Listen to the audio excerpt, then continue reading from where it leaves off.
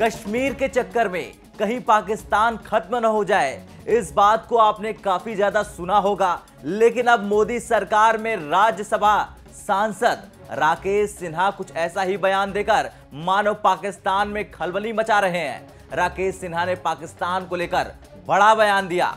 कश्मीर में हो रही कश्मीरी पंडितों की हत्या के मामले में प्रतिक्रिया देते हुए उन्होंने कहा कि भारतीय सेना तैयार बैठी है। जिस दिन शुभ मुहूर्त होगा, उस दिन न सिर्फ़ पूरा कश्मीर, बल्कि पाकिस्तान भी हमारा होगा। लेकिन सवाल यह है कि क्या सरकार मान रही है कश्मीर में हो रही टारगेट किलिंग में? पाकिस्तान का पूरा हाथ है और पाकिस्तान से आए आतंकवादियों ने टारगेट किलिंग को अंजाम दिया। और क्या सच में पाकिस्तान पर भारत कभी भी चढ़ाई कर उसे अपने कब्जे में ले सकता है। और क्या मोदी सरकार के इस सांसद की बात में है सच्चाई? इन तमाम सवालों के जवाब हम आपको इस वीडियो में देंगे। नमस्कार, जय हिंद, वंदे मातरम। आप देख रहे हैं भारत तक।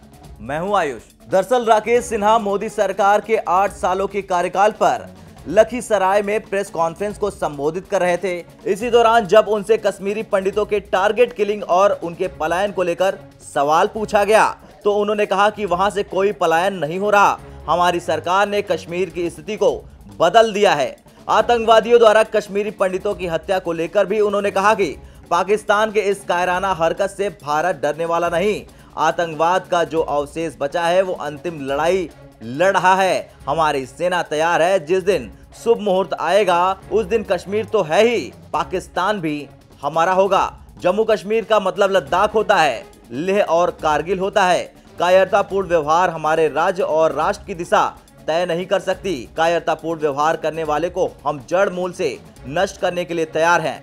वह एक गोली मारेंगे तो हम चार गोली मारेंगे। पीओके लेने के लिए हम तैयार बैठे हुए हैं। बस मुहूर्त का इंतज़ार है। इन कायरों को बता देंगे कि भारत के संविधान संस्कृति को स्वीकार कर हमारा बनकर रहें। तो वहीं पाकिस्तान को भी पहले से ये समझ में आ चुका कि अब उसे पीओके से भागना ही पड़ेगा और इसके लिए पाकिस्तान ने बकायदा कदम भी उठाने शुरू कर दिए हैं। दरअसल पीओके के हालात और वहाँ के लोगों की दयनीय स्थिति की जानकारी समय समय पर सामने आती रहती है। पाकिस्तानी सरकार ने अब पीओके के बजट में भारी कटौती की है।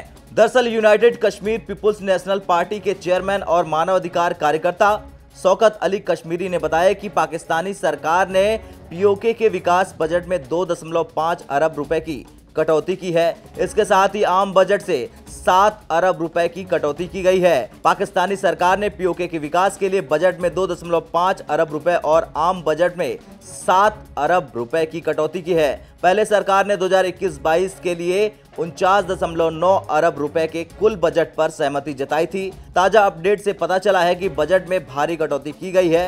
उन्होंने एलओसी पैकेज फंड भी फ्रीज कर दिया है। खैर, बीजेपी सरकार के इस सांसद के बयान के बाद आप बखूबी समझ गए होंगे कि शहबाज शरीफ ने पीओके से बजट की कटौती क्यों की और पीओके पर राकेश सिन्हा के इस बयान के बाद आपकी क्या राय है? आप कमेंट करके ज़रूर बताएँ। तब तक के लिए देखते रहिए भारत तक। जय हिंद।